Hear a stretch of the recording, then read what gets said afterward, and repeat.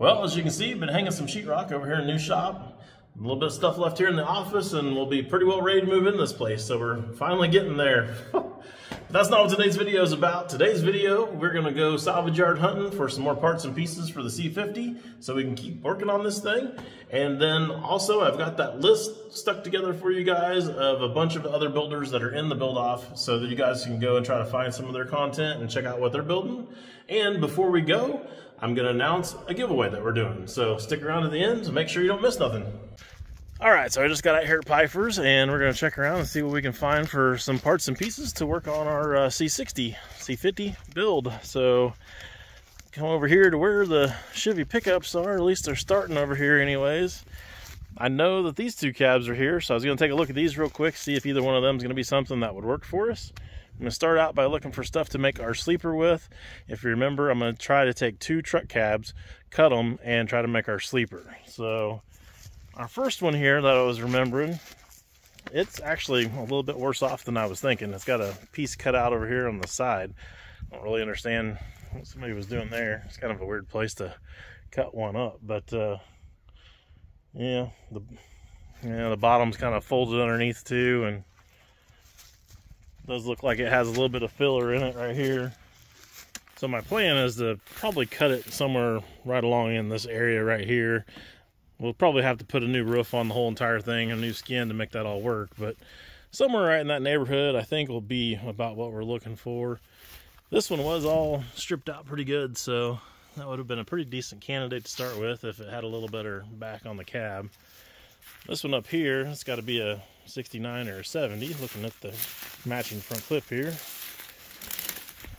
It's looking a lot better. It actually looks like a fairly decent older cab is pretty well stripped out though, but uh, yeah, not seeing not seeing much in it for dents or dings or rust or anything on the top.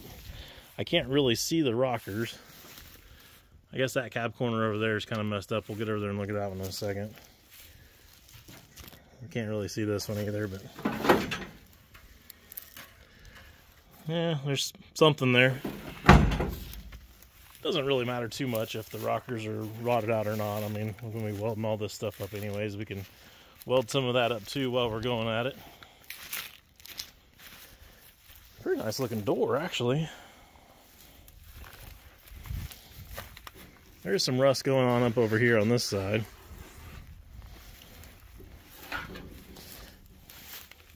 So yeah, somebody put a rocker on that one already. And body filled the back of it.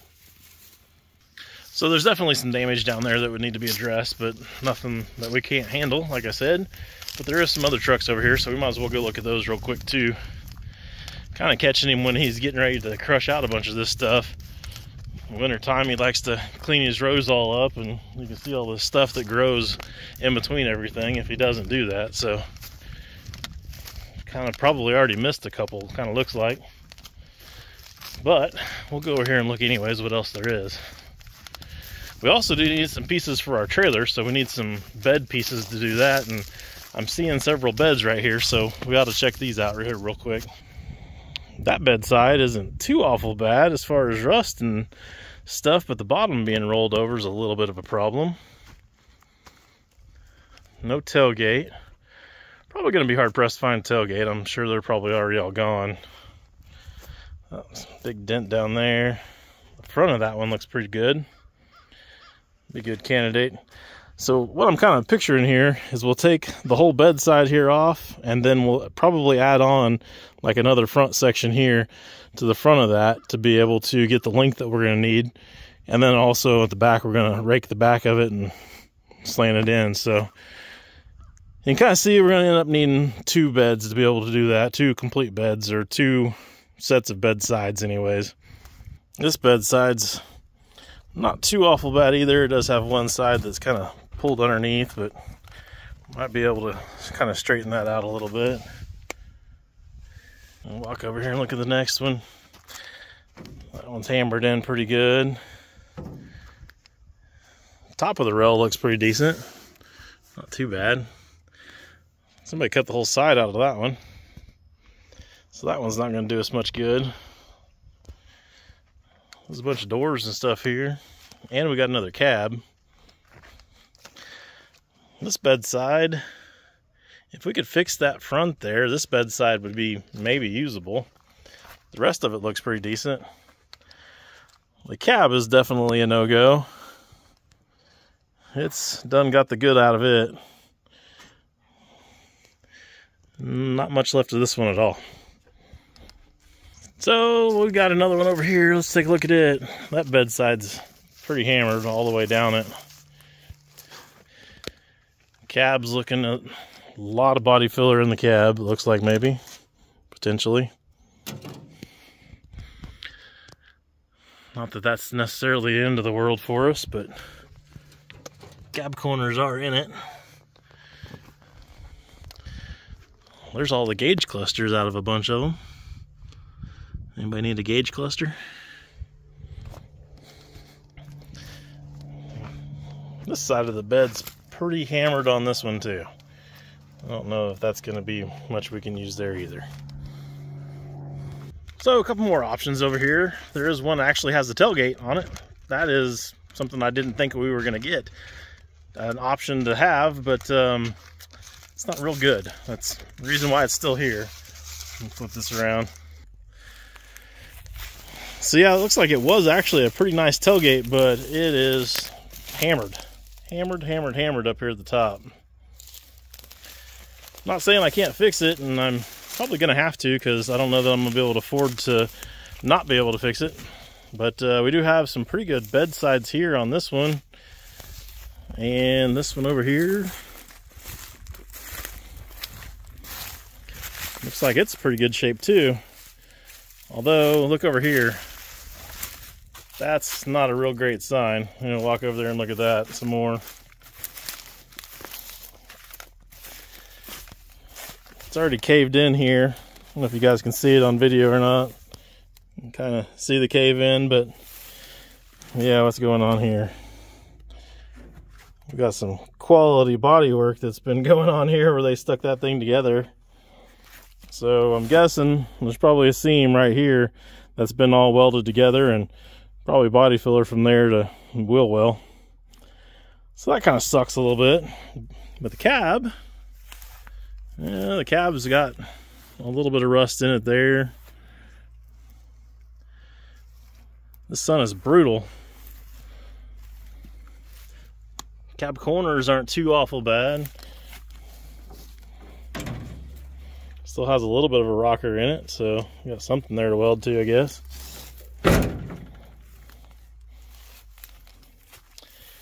Well, look around, look at the other side.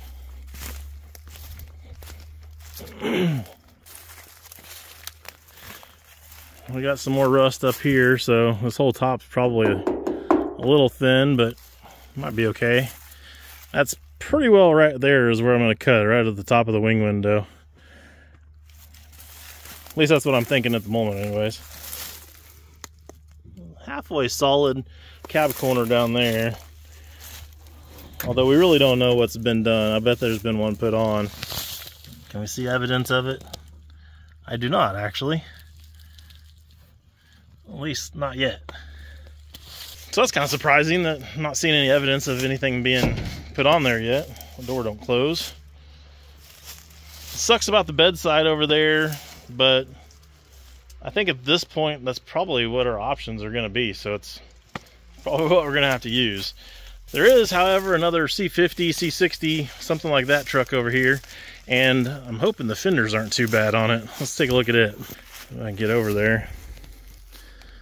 This thing's been here for a while. I know the motor's already gone and whatnot out of it. It does have a lot of rust there in the floor on the rocker and the fender. That kind of sucks. Oh. Hold on one second while I regroup here. Okay, so I've regrouped my hat back from the tree and my coat.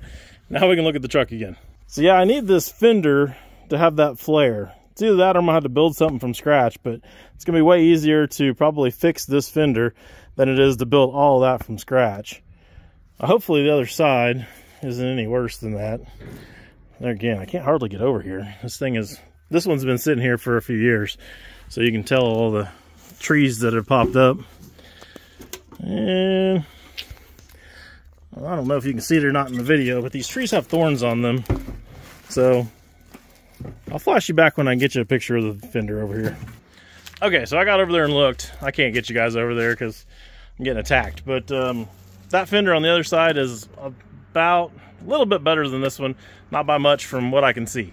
There's a tree growed right up there where this rust area is at that they're really prone to. So I don't know for sure, but I think he's wanting to get all this stuff over here cleaned up from what he was saying earlier. So this one's probably a good candidate to uh, be an option as well. And we can get the uh, fenders off of it and the cab off of it.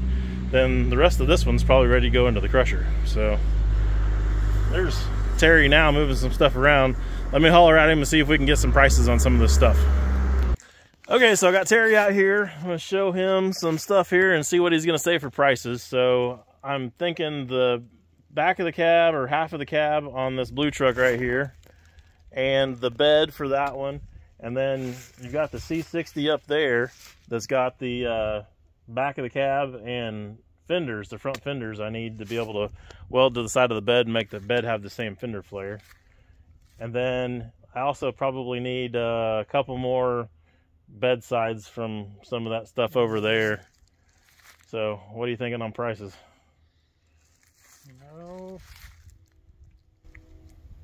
With everything you buy all the time, I imagine probably 100 bucks a piece on the bed sides. Okay. And then probably 100 bucks on the back part of the cab, cut off the posts and across there. Okay. Imagine that'd work together. And then the front fenders on that one, you think? Uh, I imagine probably about 25 piece on them because they got rust in them. Yeah, I think I can still fix them though, but that'll work because I'm just gonna peel that one piece of skin off and put it right over there. So yeah. Okay, I guess I need to uh, gather you up some money real quick here, and maybe over the next week or two or whatever, we can get some of this stuff tore apart, and I'll get her to town. Well, how about this? So yeah, I was out at Piper's yesterday. We was looking at those bed parts and everything, and then I get onto Marketplace this morning and actually, well, not Marketplace. You just posted it on your regular Facebook page, yeah. didn't you? Yeah. Yeah. So my buddy Skyler, he posted that he just picked up this bed and uh, actually a whole trailer, with a little tongue on it and everything. And then he was asking if anybody's interested in it. So uh, I'm like, dude, I'm interested in it. This looks like half of our trailer almost already. I don't know that we'll actually be able to use any of the suspension or anything underneath it, but it's got me thinking now. So anyways, so we're gonna unload this thing, and um, what's our deal on it? How much? 200. 200 bucks. So add that to our list of uh, cost on the truck.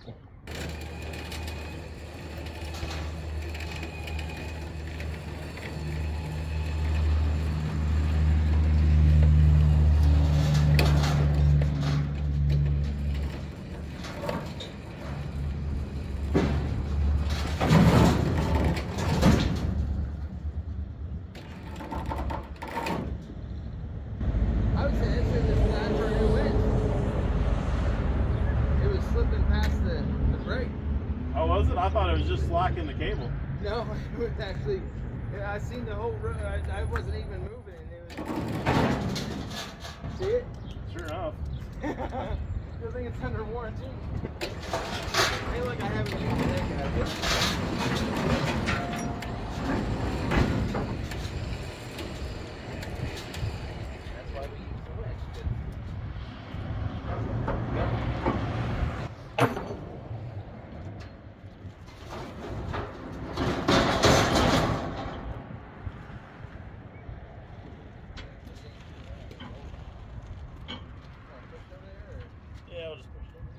it's been a few days and they've got the uh, cabin bed off for us on the uh, blue truck. You can see it back there.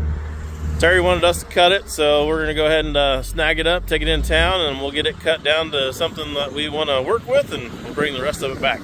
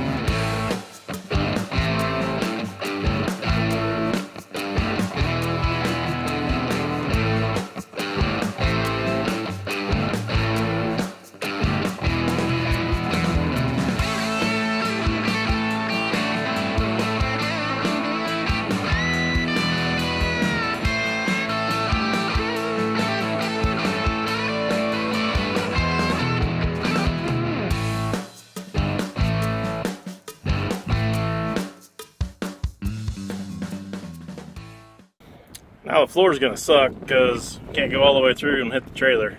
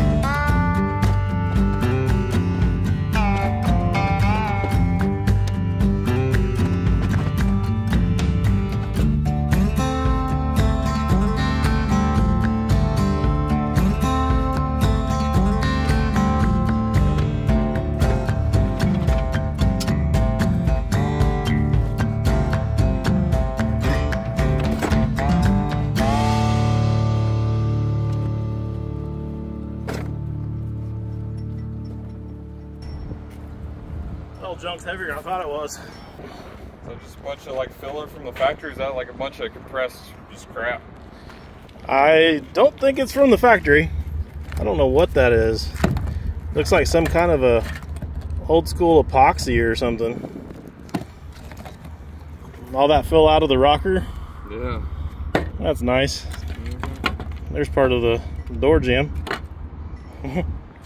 so in our last video, we talked about how cool it'd be to compile a list of everybody else that's in the build off that is putting their builds out there in internet world for everyone to see. And we have kind of got a list started here. So we've put together the people that uh, we knew of beforehand. And I, sorry, I feel like I've forgotten someone. And I can't think of who it is now. We off the top of my head. brainstormed. this is, you know, some that you guys have commented because we put it out there last week that we wanted it, and then Yes. some others that we just happen to know. And yes, we feel like we're forgetting somebody. So If we did, we're sorry. we're sorry. and call And us out. call me out on it, Please. yes. And, and, yeah, apologies ahead of time. All right, so first off, the ones on YouTube that have YouTube channels that are putting their build on their channel um, so you can follow along. Probably other places besides YouTube if they're doing it on YouTube, but But yeah, but videos want that we can you can all follow, we can all follow. follow on YouTube if you want to go there. We've got Colorado Grown and Nixon Garage, Merrick Makes, Metal Devon Customs, Radical Rats Garage, which is Joey Woodall on Facebook. Rat Rod Garage, which was Simon Says Garage, so if you follow that one, it's now Rat Rod Garage. Peace and Grease. John uh, John Showcar Builder um, said that he is going to be building. He's um, in the Rat Rod build off, but he's still in the collecting part, so it's not on the his YouTube So channel. yet videos to come. but videos are to come. And then there's a bunch more on like Facebook and Instagram. We're not big on Instagram, so if there's extras there we don't know about them, please continue to comment those as you know. Um, but we have Gertz Rat Works, um, head, Heads Up Hot Rods. The Psycho Silo Saloon is not technically in the build off, but they thought it sounded fun, so they're building something for the for the build off. And they're building something really cool, so I'm kind of jealous of that. Yeah, and they don't have to listen to the five thousand dollar rule. So yeah, it's awesome. They're fun. They're, They- they're they- neat people anyway. They also made a Facebook group on Facebook, of course, that uh, is the Rat. Well, I should have wrote it down. It's um, Rat Rod Magazine Off. Build Off Yeah, Rat Rod Magazine Build 2024 Off, Yeah, something Psycho like that. Silo Saloon, I think, something like that. So you can go there and comment and do stuff too. Rat Rod Magazine made one as well, but you can't comment on it or something. So anyway, um, we're gonna put these. down- Oh, there's wait. There's more. Let me finish. Paul Lyons, Robert Hill, Gary Dunn, and Jake Welcher. So I'm going to put this list with the with all the YouTubes and these Facebooks on our um, uh, Facebook page. So go to our Facebook page if you're wanting to know any of them. That's Corey. Oh, Corey Dunn. I'm Yeah. sorry, I can't read my own handwriting. Corey Dunn. Is that just not sounding right to you? Because like, you know him? Yeah, I was like, that's all right. That's all right. I Corey. Anyway, um, yeah, I'm going to put it on Facebook so you can see it. If there's anybody we missed, if we missed you or you want to be a part of it or whatever, um, put it on on the comments of that post so we can kind of keep track of everything. And after we hear about any more, then we'll update that post or make a whole new post. So it should be pretty easy to find on our Hardcore Fab uh, you, or Hardcore Fab Facebook, Facebook page. So. page. So we're going to keep track of all of that over there. We thought about keeping track of it over here, but that's really complicated. Then you got to go find which, Which video, video was, was, and all it that that we talked about, and then read the descriptions and find them, and, and it's kind of it's just easier if we put it on Facebook, is what we decided. So that's where they'll be. Hey everyone, while Anthony is up there hanging up our new Rat Rod uh, banner that we got from Rat Rod Magazine, I wanted to talk to you about a new giveaway that we're having. Uh, through kind of an error of ways, uh, we ended up with two of those banners, and I talked to Tracy Ripley over at the magazine, and she said, well, why don't you guys just have a giveaway, give it away on your channel, that'd be fine. And we thought that's a great idea, and we want to help promote uh, Rat Rod Magazine, because we love the magazine and all that they're doing. So this is what we've come up with. Uh, we want you to go to the Rat Rod Magazine YouTube channel. If you haven't been there yet, you really need to go over there. I will put a link to it in the description below. Go on over there, subscribe to the channel, and then they have a video that they posted about nine days ago called Tools, uh, Tools for the Trade Visit. Uh, that's a Northern Tool promo thing that they're doing with some uh, high school kids, um, teaching them some skills uh, about you know using tools and everything. It's a really awesome program that Northern Tools is doing and Rat Rod Magazine is helping them with. So go there, see that video, comment on that video. Doesn't matter what you comment, comment that you subscribed or whatever you want to do, um, but make a comment there and we will be picking a winner for that banner from those comments on the Rat Rod Magazine YouTube video. So head over there. Um, we are going to be announcing that um, winner not next week's video, but two weeks video. So you have two weeks to go over there, subscribe, and comment. If you're looking at this and watching this video and it says that it was posted over two weeks ago, you're too late. But otherwise, ooh, that's loud. It's an awesome looking banner. I'm sure you want one hanging in your shop too. And I guess if you don't win the banner, you could always go to ratrodmagazine.com and buy one like we did. Yep.